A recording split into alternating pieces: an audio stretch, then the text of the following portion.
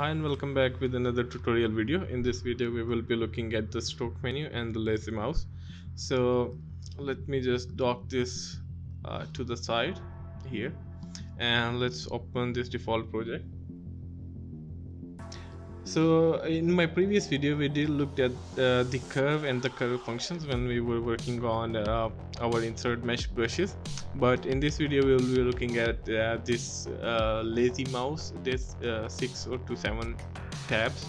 Uh, so the stroke menu tells us how a stroke will be applied onto the surface. For example we have we also have this stroke which is taken from this stroke menu here uh, this thing and this thing are the same. You can just click and check uh, different strokes from here as well.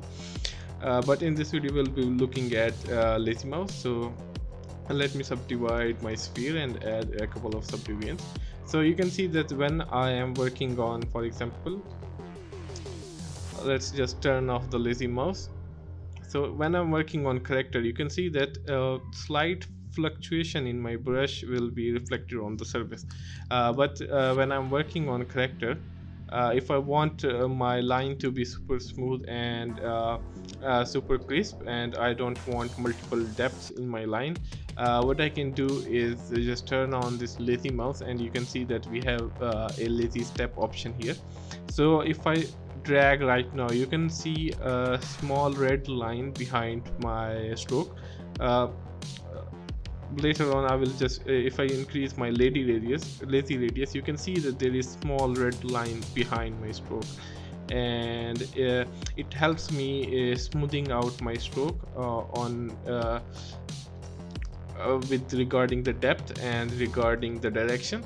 Because if I even if I take sharp turns it will make it smooth so uh, lazy mouse is uh, very important when you're working on uh, creases or applying uh, some creases on the your character or your armor uh, it is very helpful. And there is one more thing which is uh, in the lazy mouse 2.2 it wasn't in previous ZBrush. And uh, you have to change the settings for lazy mouse for every brush. For example just look at here. And I'm changing my brushes and you can see that it turns off it changes values because all the brushes have different values for the lazy mouse. So uh, if I go to my Dam Standard brush we have lazy radius 1 and if I go to my standard brush we have lazy radius of 56 which I just turned on. So let's press 5 increase the lazy radius to uh, something like uh, 80 and you can see that uh, if I drag a stroke on my uh, model let's increase the size. Let's sub subdivide it one more time and if I drag it and I have ended my stroke and I just rotate it out.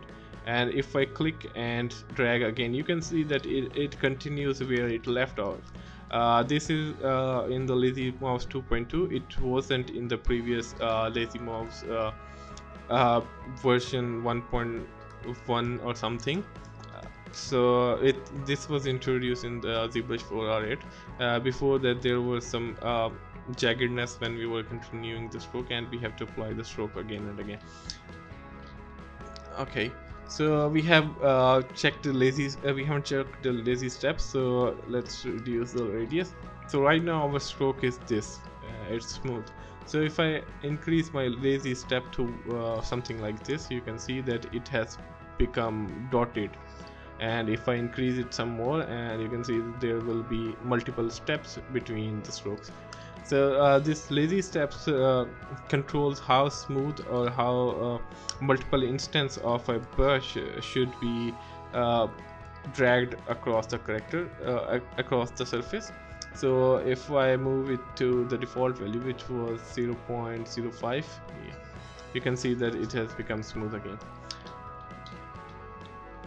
So let's go to our polystatic append a polyplane plane 3d yeah so let's delete this polystatic and so we also have this uh, option which is uh, if I want to uh, I want to work on uh, like uh, I want to work in a line or in a path and I want my stroke to keep on this path. So what I can do is uh, check this line and if I drag a line you can see that it is not drawing right now. But if I go back on it let's add multiple subdivision yeah. So you can see that I have dragged in line and you can see that uh, it's uh, right now it's not following. It can just go anywhere else as well but if we want uh, our stroke to follow the line what we can do is uh, click snap to track as well. And you can see that if now I, I, wherever I take my mouse it will just keep on following this line no matter what. So this is very important when you're working uh, on uh, creating some paneling for the hard surface objects. Uh, it is super useful. You can see that uh, my stroke won't go anywhere. It will only just only be uh, dragged onto the line which uh, I dragged previously. So if I go to my sphere and if I drag a line again and you can see that it's not working. Uh, it was working on the plane but it's not working on the sphere. That's because the track curvature is uh, value is set to 35 so if I increase my value to 100 and drag a stroke again you can see that it's working again. So it is very uh, so sometime when you don't know that uh, the track curvature is set to 35 uh, you will see that it's not working on uh, curved surfaces like this sphere. And uh, on the plane it will work so uh, you should check and make sure that track curvature is set to 100 on the curved surface. So we also have this spline option which is like some no yeah. Uh, I don't know the difference between spline and the line uh, and I have never used it. And uh,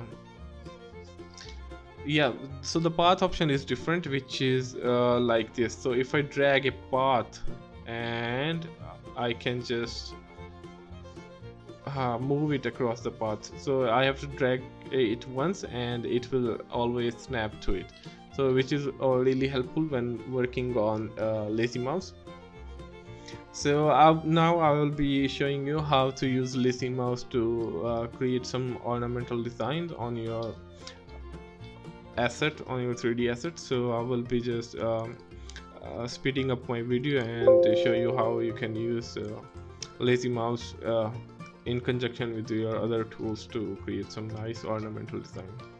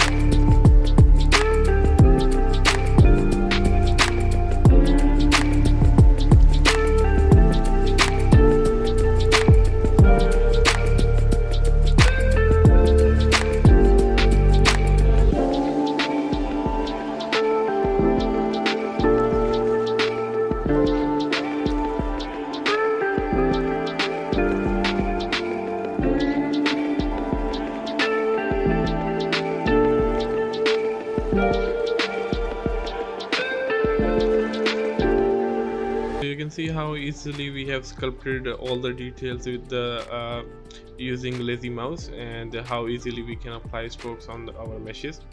So hope you like the video and see you in the next video